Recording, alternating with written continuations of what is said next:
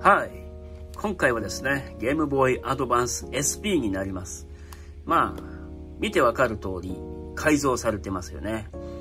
まあ、なんとなく予想つきますが、IPS 液晶なんですが、まあ、春先からね、作り始めてました。もう、夏が終わろうとしてますよ。うん、時間かかっちゃったな。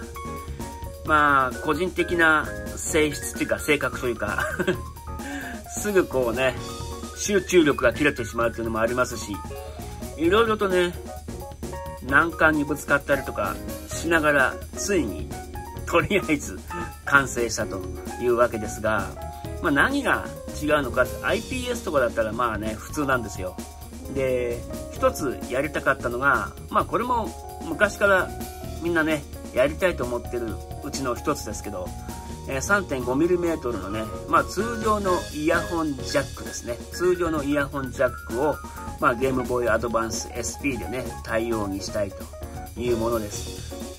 で従来は、ここからですね、あの、充電する場所から、ぴょろんとケーブルが出てきて、まあ、3.5mm のイヤホンジャックに変換するものがありましたけど、まあ、それを使うことなく、これね、イヤホンジャック対応にしようというものです。で、あとはちょっとここに出てますけど、充電する場所、ここね。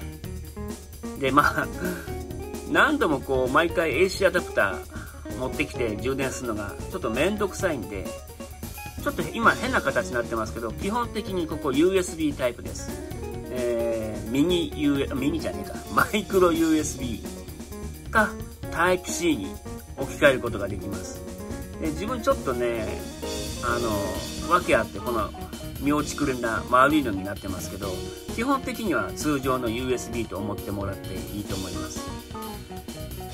でまあ、ついでになんですけど、まあ当然ね、せっかくやるんだったら、このね、液晶も IPS 液晶にしようということで、もちろんご覧のようにね、IPS 液晶バックライトになっています。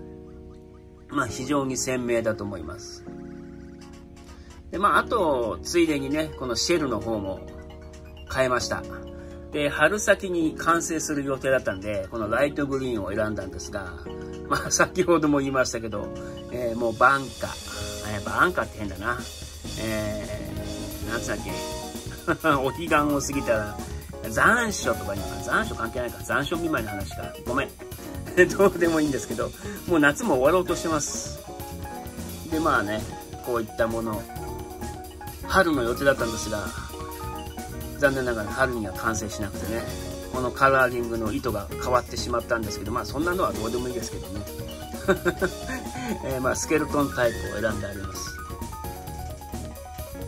で、なんでまあこんなに時間かかっているのかというとですよ、うん、一つはね、あの、この基板？違う違う、基板じゃない。で、まあ結構頭の中ではすぐできるかなと思ってたんですよ。すぐに、そんなに難しいことしないでね。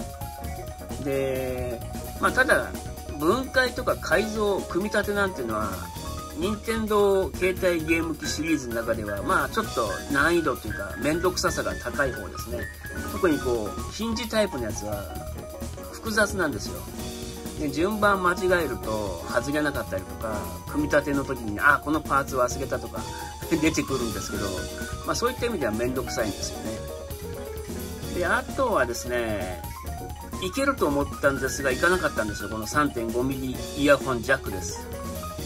でなんでだろうってしばらく考えていてまあ、アドバイスをくれたのがタッチさんという方なんですけどいろんなねこのパーツから何から教えていただきました。ありがとうございます。でこのねアドバンス SP の基板が実は2種類あるっぽいんですね。2種類。もっとその他にあるかもしれないんですが大きく分けて2種類あります。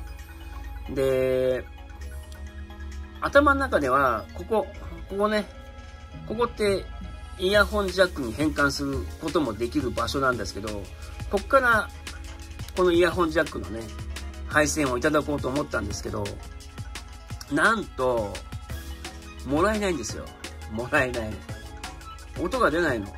いや、絶対そんなはずないと思って、しばらくうんうんなってやってたんですけど、結局ね、ダメだったんですよ。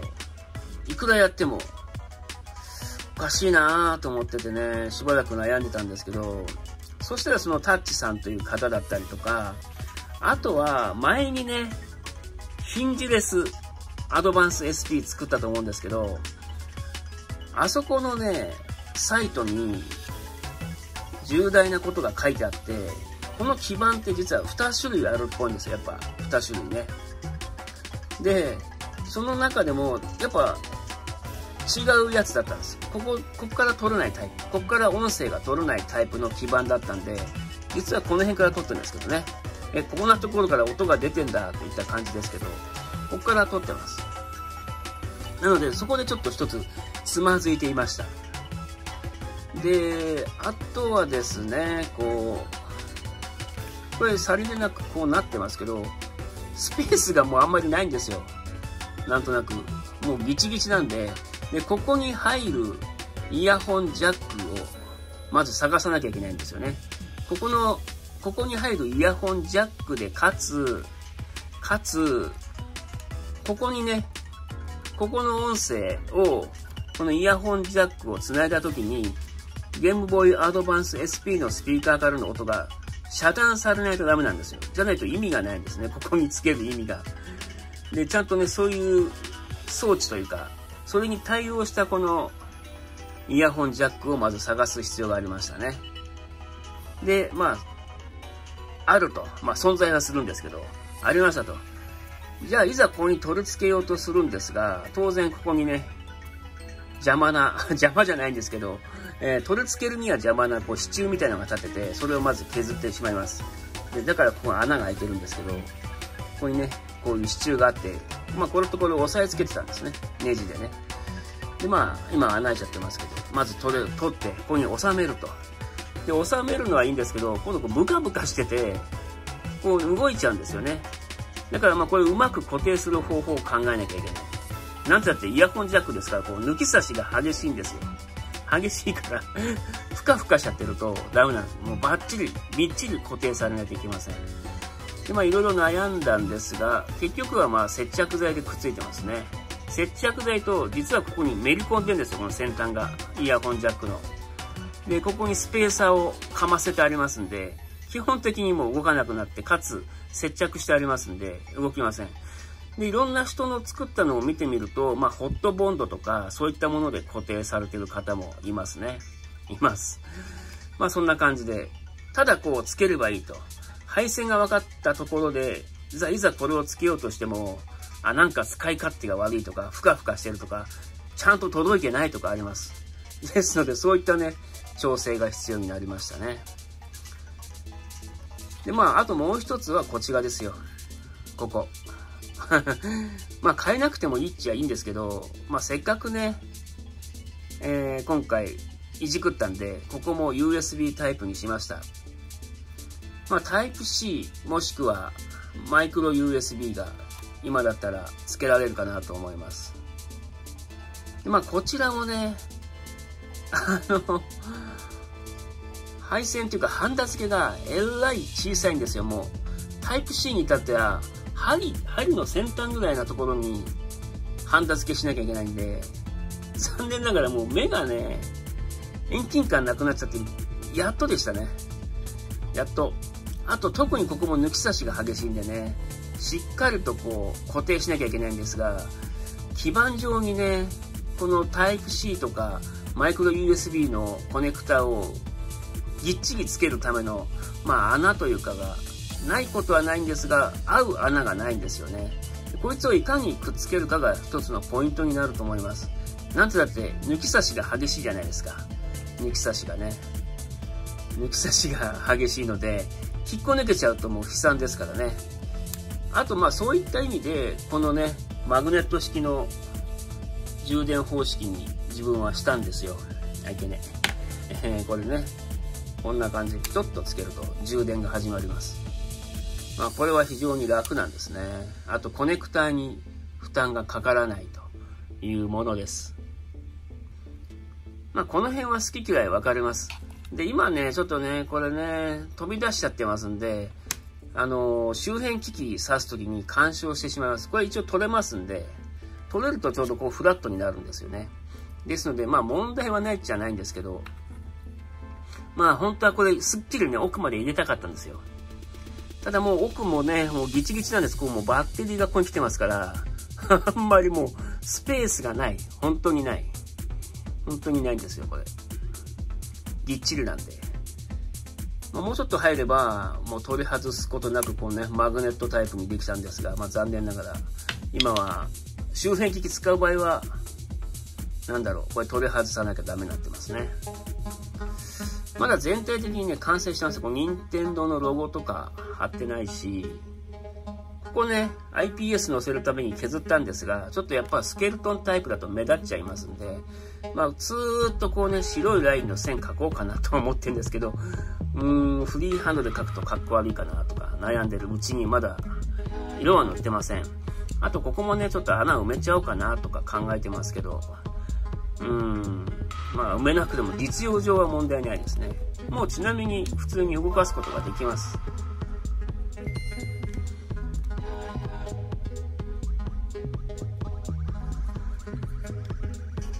もうあのね全部ネジ止めそのものは終わってますんででここでバックライトの輝度を調節できますねまあ、これは今回の改造とは直接関係はないんですけどちょっとねイヤホンジャックに挿してみたいと思います、ちょっとヘッドホン持ってきましたプレイステーションですけど で挿してみたいと思いますここにプスッと挿すとこっち今オフなってますね。聞こえてません。あ、ちなみにここでね、輝度変更できます。まあそれはいいや。今ね、このイヤホン、ヘッドホンかな？聞こえるかな？ボリュームアップするか。こっち今聞こえてない。もうマックスか。こんな感じ。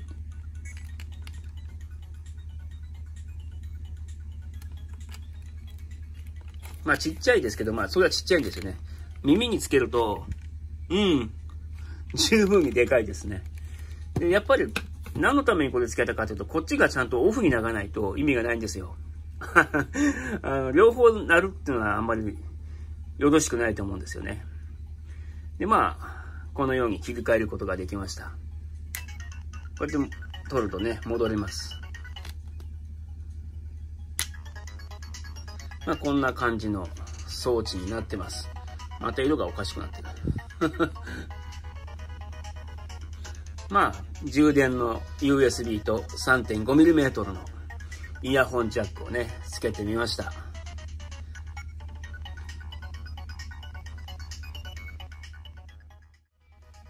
まあ、今回はね、お披露目編ということで、こんな感じで、えー、できましたよと。ようやく。えーまあ、ゲームボーイアドバンス SP のね、弱点の一つであるここ、イヤホンジャックが、えー、充電コネクタと一緒に兼ねているというものをね、あの、改善するために改造しました。あとはこう、USB の充電にしたのもね、現代風に合わせてみたかなといった感じなところです。まあ、どうでしょう。まあやるとねやって完成すると充実感となんか満足感はありますけどここに至るまでが結構大変でしたね今回こんなにかかるとは正直思いませんでしたけどいや単にね遅いだけなんですけど。まあ仕上がってみると非常に満足度は高いですね。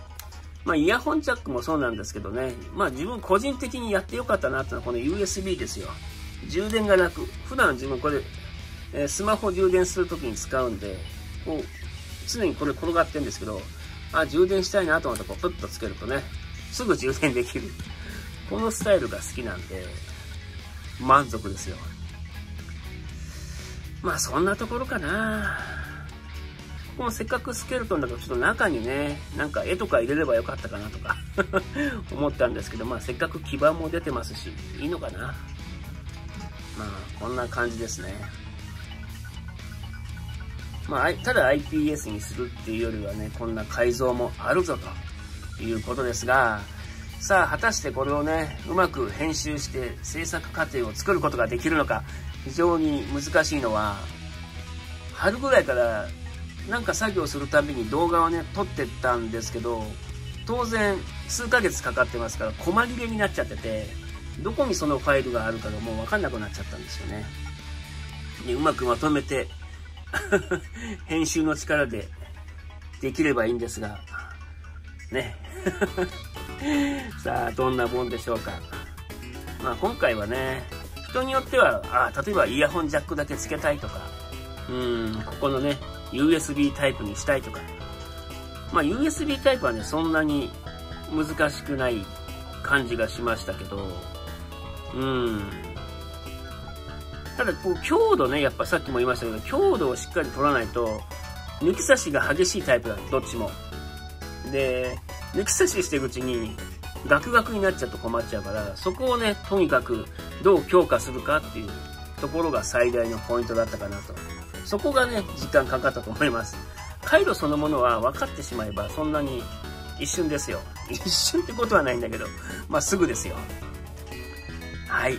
ということでね、今回はゲームボーイアドバンス SP の、まあイヤホンジャック搭載 &USB 電源化というやつでした。の、まあ、完成お披露目会ですね。制作編ではありません。制作編は、えー、動画ができたら出したいと思います。ではまた。